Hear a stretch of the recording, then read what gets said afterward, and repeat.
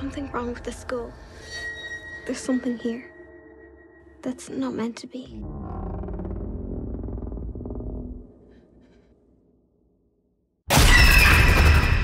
You are the only person alive who has dealt with something like this.